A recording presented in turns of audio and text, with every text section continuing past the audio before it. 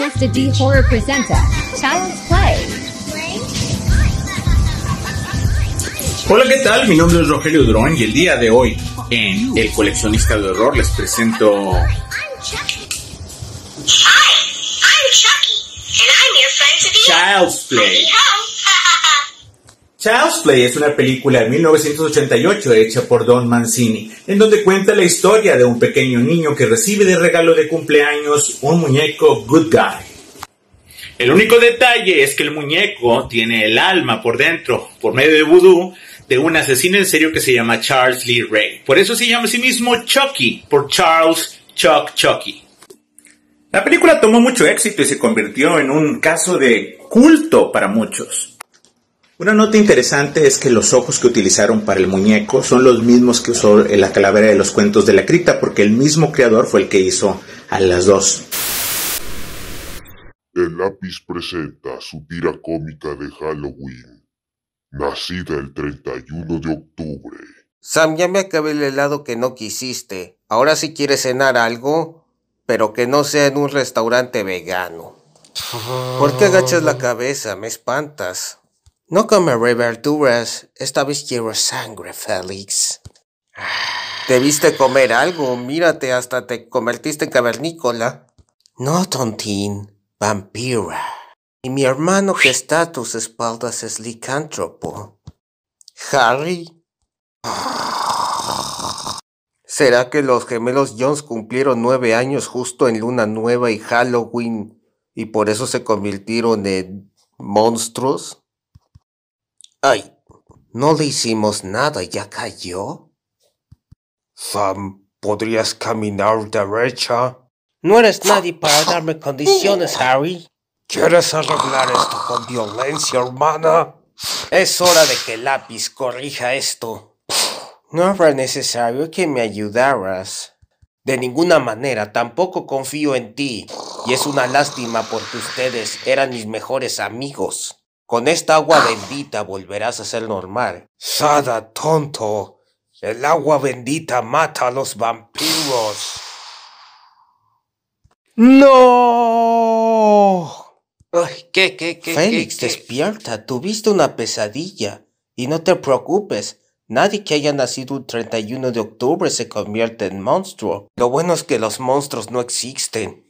No esa clase de monstruos. Pero los que sí existen son el coronavirus. Así que ponte la mascarilla, Sada. Lo bueno de todo es que al menos nosotros tres estamos bien. Colorín colorado, esta tira cómica se ha terminado.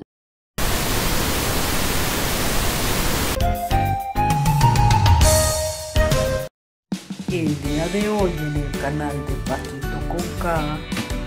Muy buenas todos, Paqui amigos. El día de hoy vamos a utilizar mi disfraz de Among Us. Vamos a ocupar pintura morada, pero yo lo quería hacer de verde, pero verde. Vamos a ocupar pinceles, una navajita, pero te va a acompañar Marcelo. Y un botezote de agua ya vacío. Paqui amigos, ya casi se acaba Marcelo de esta poción de humanos. No, Paquito con K. Andaba preparando mi disfraz de Halloween. Ah, ¿y de qué va a ser? Pues todavía no lo sé. El Porque... mío va a ser de Among Us. Among Us. ¿Y lo vamos a El hacer? huevo de moda. ¿Qué es lo que vamos a necesitar, Paquito? Una navajita, pero Ah, por eso vine yo, porque los niños no deben de agarrar navajas ni tijeras. vamos a ponerle color morado, pero Color morado que se va a ver verde. No, va a ser morado Morado Pinceles. Pinceles. y no más. Ah, y también un bote ya, porque está desinfectado. Desinfectado y lavado y sin agua. Ok, Paquito, Bueno. y vamos a recortar la parte de abajo primero con mucho cuidado, amigos. Sí, pídanle a un adulto que les ayude. Muy Un bien. poquito más así, porque no quiero que me sí. Ah, un poquito más en la orilla. Tienes razón, Paquito.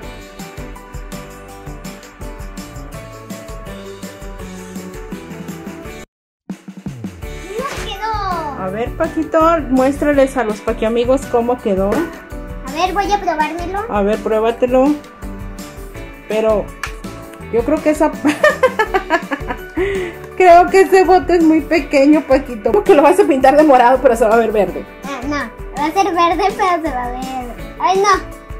¿Qué cosas ando diciendo? Y no olviden también estar suscritos a mi canal y el de Pati Patines. Suscribirse y darle like a los videos. Sí, suscribirse y darle like. Y recuerden que el 31 de octubre en este canal de Paquito Conca vamos a hacer el, es- el estreno del especial de Halloween. Halloween. Pati Patines nos mandó una calabaza. Una calabaza, ya decía, una calabruja. Una calabruja está padre. Aquí amigos, Marcelo se tuvo que ir porque pues ya es la hora de comer, pero esperamos para que mm, se secara un poquito. A ver, me lo- no me como yo. Para la próxima conseguimos otro grande.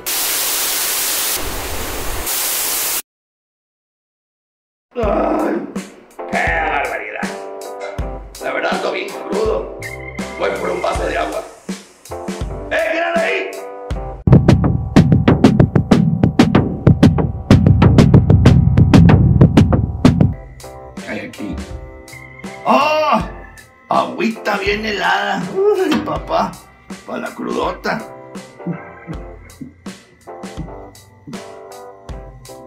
Eh.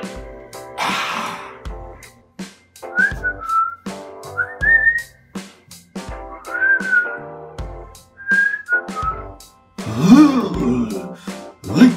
¡Inga, me mojé! ¡Eh! La traicionera.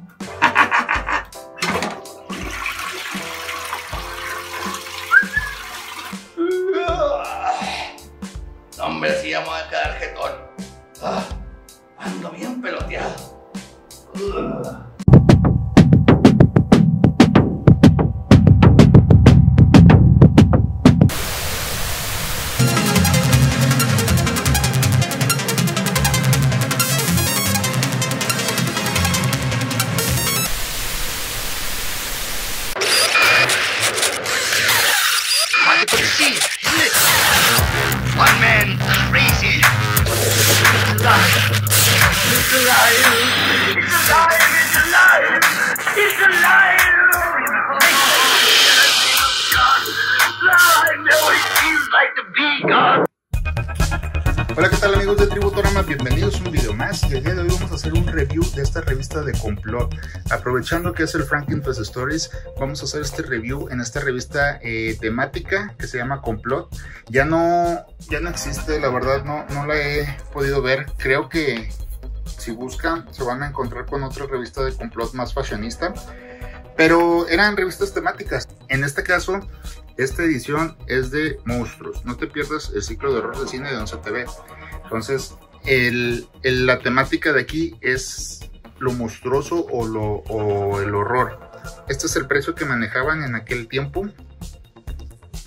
Año 2001, octubre, 25 pesos. Realmente una ganga. Y pues bueno, eh, yo las compré, las coleccionaba porque estudiaba la carrera de diseño y me gustaba que este tipo de revistas eh, fuera temática por lo mismo, ¿no? Miren, Frankenfest. Este, tenía mucho material para, para digerir. Estas ilustraciones creo que son del doctor Alderete, tan geniales, monstruos clásicos. Y toca temas, toca temas muy especializados. Por ejemplo, esto es referente al hombre elefante, a John Merrick.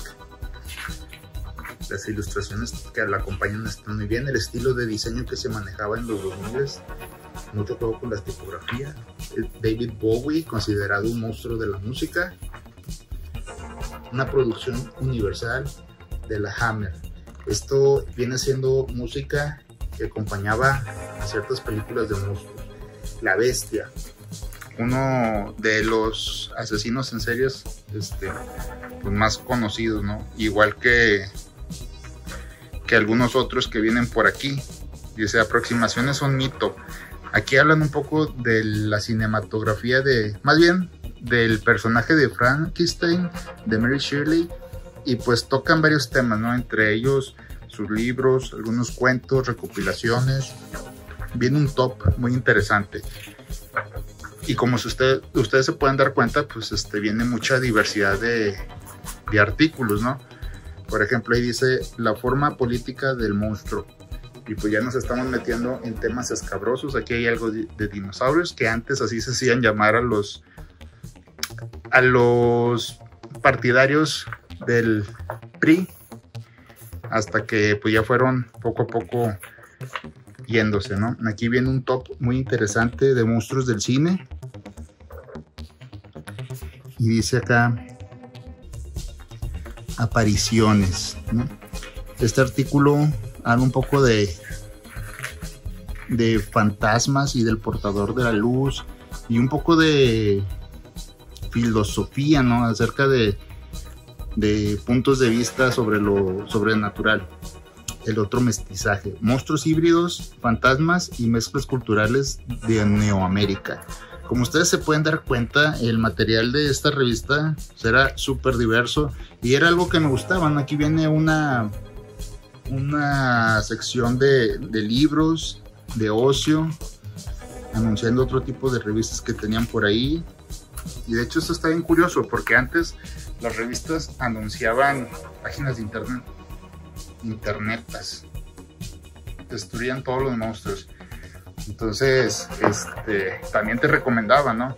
Sorprendente que ahorita eh, son muy pocas las revistas que, que existen físicamente.